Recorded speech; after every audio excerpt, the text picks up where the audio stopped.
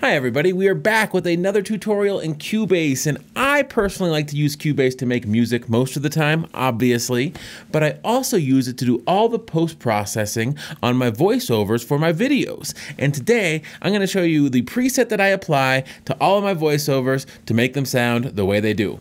Let's do it.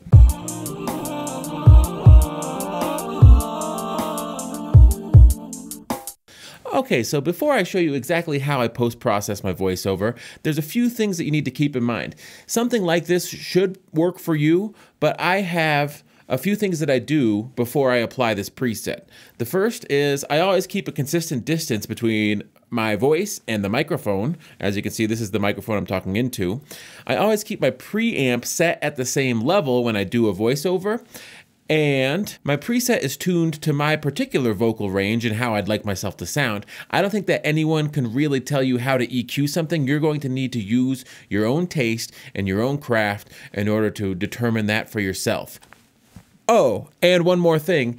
I record in a studio that is pretty darn quiet. Now, if you're recording out in the field and you're different distances from the mic or you're in a noisy room, there may be additional post processing you need to do. Things like noise reduction or applying a noise gate, using tools like iZotope's RX or even free tools like Reaper's ReaFIR. And I'll leave a link up in the corner uh, about using noise gates and noise reduction for voiceover using some of those tools uh, if you're interested in that sort of stuff. But this is if you're recording a voiceover in an ideal situation.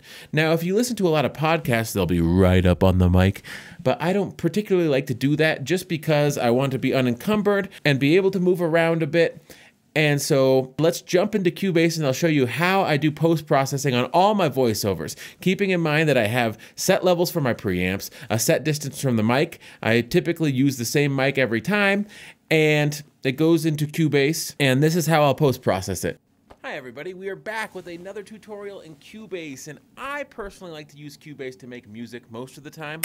So you remember that from the top of the video. I'll just cut it here at the beginning, and it's really a two-step process, but it's actually a three-step process because I'll show you what goes into the preset. I'll select the area that I want, and I'll start by normalizing it. So I go to Audio, Process,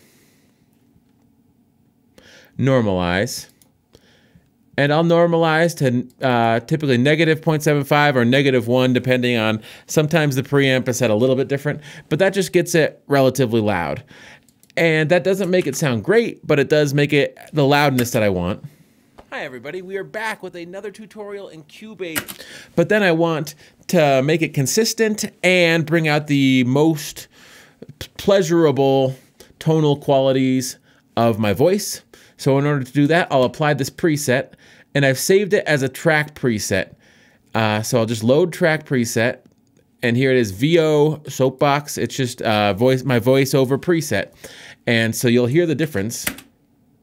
Hi everybody, we are back with another tutorial in Cubase. And, and so my VO soapbox preset has the following things on it. We'll open up the track itself.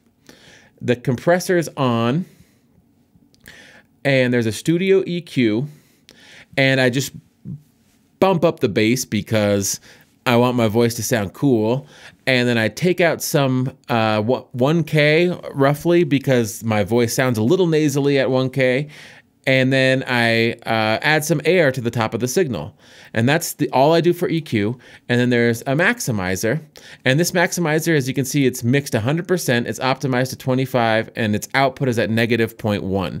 So all those peaks, if I normalize to 0.75, will get pushed down to uh, negative 1, but it'll crush the signal so that I maintain a consistent level of loudness. I personally like to use Cubase to make music most of the time, obviously, but I also use it to do all the post processing on my voiceovers for my videos. So as you can see, there's additional compression since the strip is post inserts. Uh, and I have a ratio of 2 to 1, so it's just a light compression after the maximizer with auto makeup. Today, I'm going to show you the preset that I apply to all of my voiceovers to make them sound the way they do. Let's do it.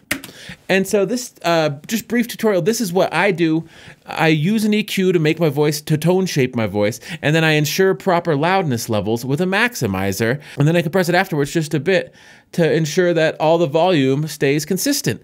And that is all I do. And this tutorial has been designed just to show you that you don't need to do a whole lot to make your voice sound better, but those few steps in post production will go a long way. So I hope you found this helpful. If you have, feel free to like or subscribe and take care of yourselves, everyone. Have a good day. Peace.